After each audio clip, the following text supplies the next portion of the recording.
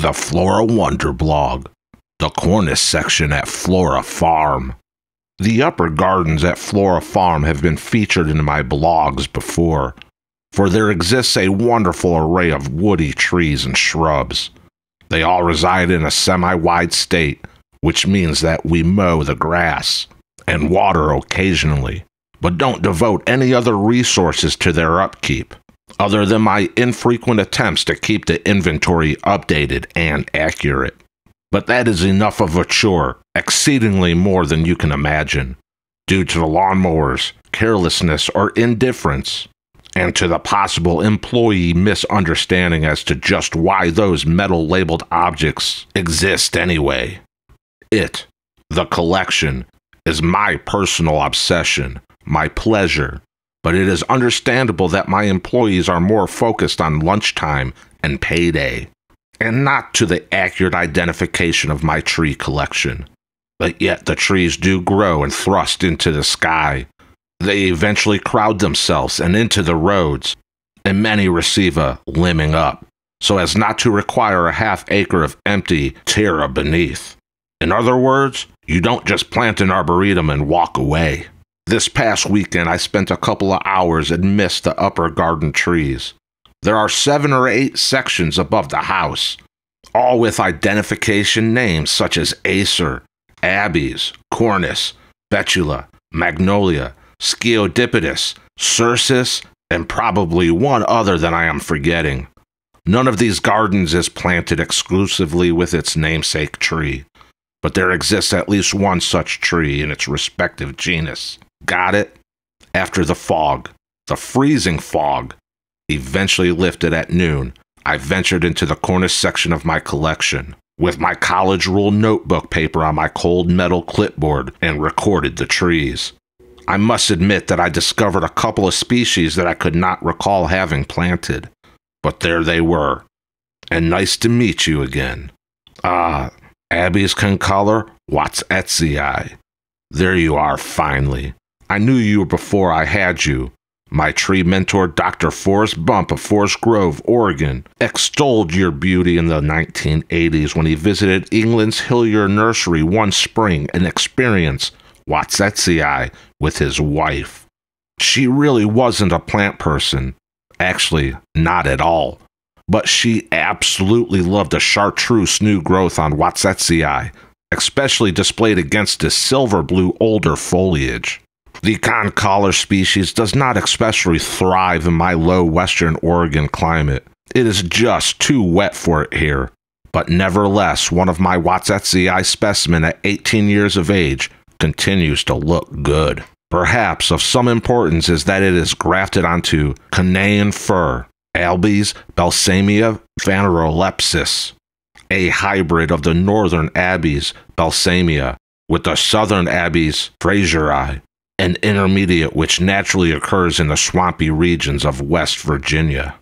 Just below the Cornus Garden is the Abies section, which I featured in the blogs. The Cornus Garden also contains some true fir, notably a fantastic specimen of Abies squamata, flaky. The flaky bar fir from Sichuan, Tibet border delights all who see it. The needles are a rich blue green, and the cones are ornamentally purple. And when young, the species can attain a perfect Christmas tree form. The exfoliating cinnamon brown bark is fantastic, and I suspect that if I passed off some squamata trunk photos as Acer griseum, no one would notice. Abies squamata is native to a dry region, and it holds the altitude record of all Abies at 15,416 feet, 4,700 meters. Locally, it is known as bolo, but then the Tibetans refer to other Abies and Picea species by the same common name. Abies squamata is listed as vulnerable by the IUCN Red List of Threatened Species, but I can produce lots of them should you want to grow it. Hardy to USDA Zone 5. Another Abies in the Cornus section is koreana blue cone pendula, the start of which came from an East Coast collector years ago. The cultivar name is on sound, besides the fact that it grows beautifully into an upright pyramidal shape, with nary a downturn of any branch. I didn't feel that I could sell it at any size since it didn't weep, and so my original specimen was planted in the upper gardens, the perfect spot when you don't know what else to do with the tree. The same thing happened with a very prostate form of noble fir, Abies procera, that was labeled Glauca prostrata.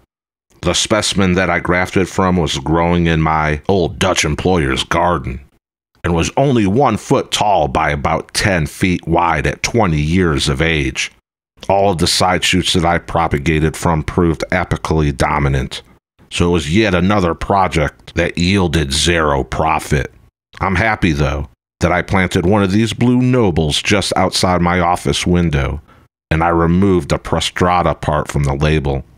There are a few Ilex aquifolium cultivars in the Cornus section, and I love them greatly, although there is not a huge demand in my market. As noticeable and vibrant as any golden spruce or pine in the winterscape is Night Glow.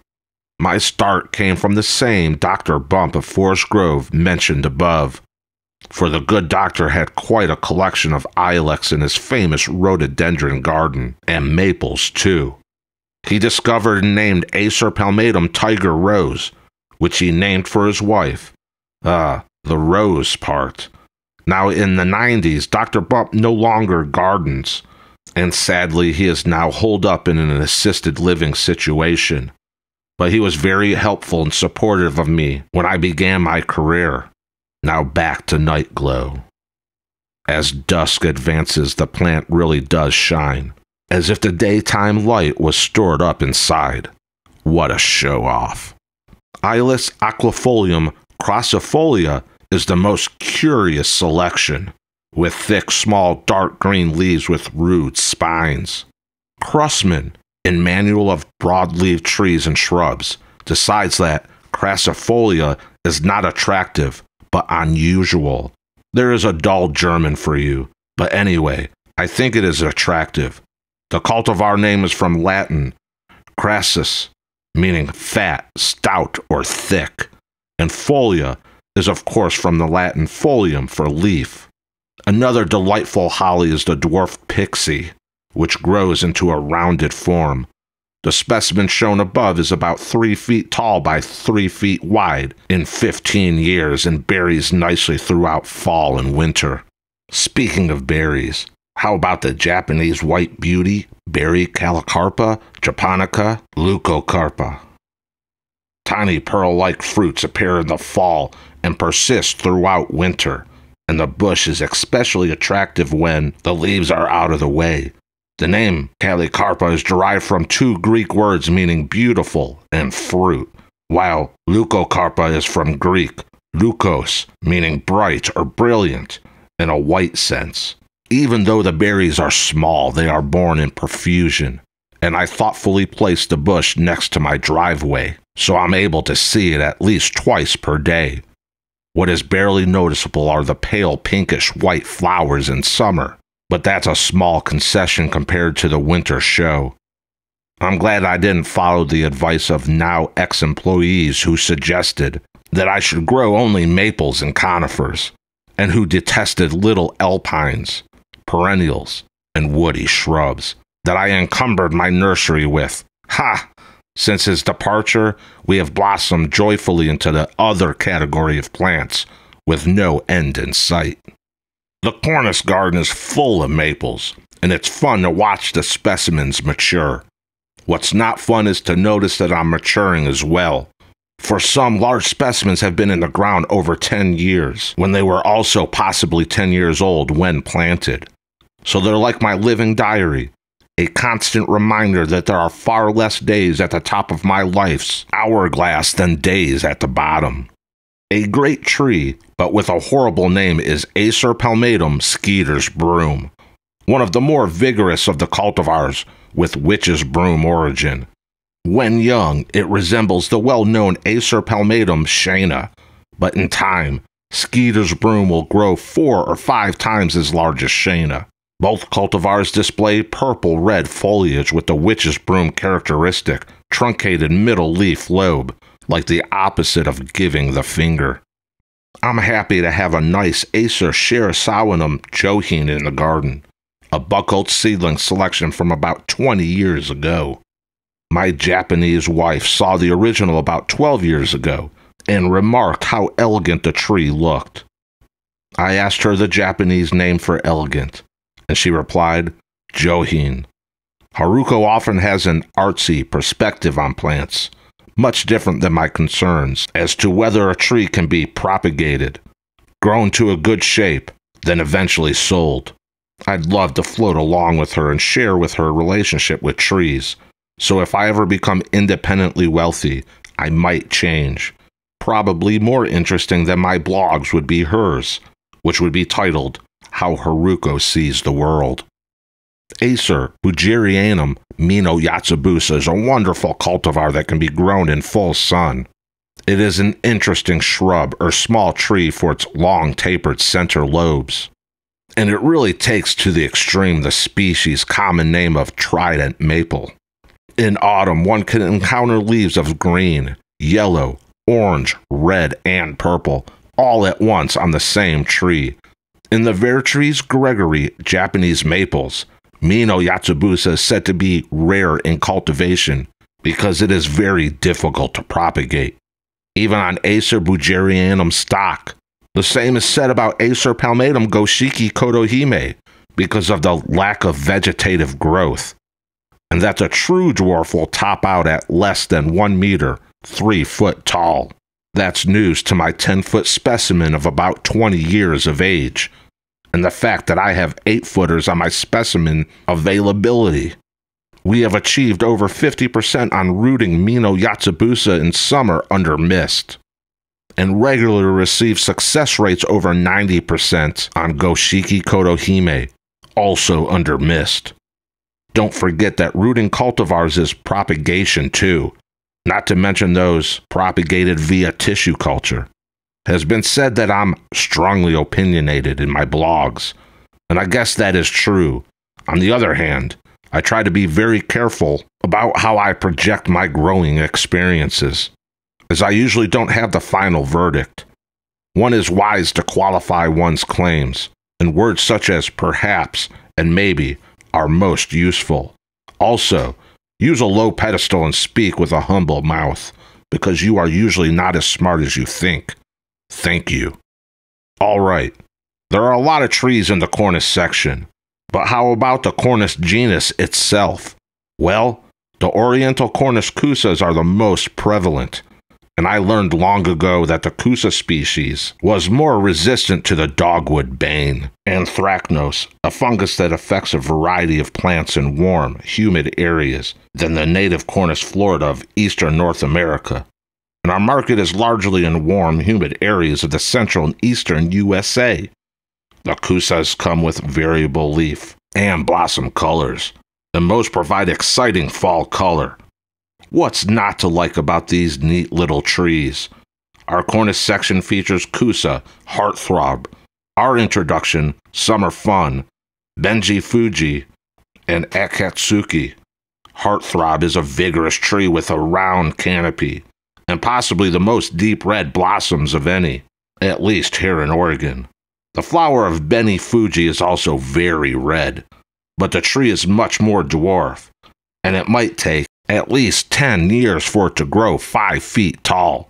Summer Fun is our introduction, and it features one of the most delicious white and green leaf variegation of any plant, and is certainly much more superior to the previously selected cultivar of wolf eyes. Nice name. Wolf's Eyes, anyways. Akatsuki is also variegated, white and green, but not as pretty as Summer Fun. However, Akatsuki features flower bracts that vary from reddish to quite red, depending on the season. While it's nice to have reddish flowers on a white green tree, since they stand out more, the blossoms last only a few weeks whereas the vibrancy of summer fun lasts through spring and summer. In addition, summer fun is unsurpassed for autumn color. Okay, I'll admit it, that summer fun is the best selection of Kousa, largely because it is my selection. Goodbye, Wolf's Eyes. Hello, summer fun. The sanguinea species of cornus is commonly called the blood twig dogwood because of its red stems. But the Sango-kaku like cultivar of midwinter fire is adorned with glowing coral red winter stems. The bush throbs with color for half a year, while admittedly is a non event during spring and summer. The genus name Sanguinea is from Latin for blood red, but the midwinter fire cultivar is much more orange bright, and it absolutely glows with photographic backlight. I am reminded of the plant Sarcodes sanguinea, commonly called snow plant, which occurs in southern Oregon to Yosemite in mid eastern California. This phallic protuberance emerges in late spring at elevations between 4,000 to 9,000 feet in elevation. I first saw this ericaceous plant with a blonde girlfriend years ago, and we practically raced to the nearest motel to celebrate our discovery. The wildflower does not accomplish photosynthesis, but is rather in favor of a symbiotic relationship with the underground fungi. Such plants, my God, provide as much entertainment as any person or event. One never tires for the more you learn and experience the more joy you receive. I'll admit that I'm a sucker for bioplants, which means of botanical interest only. And the Cornus paucinervis is certainly one such plant. It is a small deciduous shrub with a dense, low spreading form.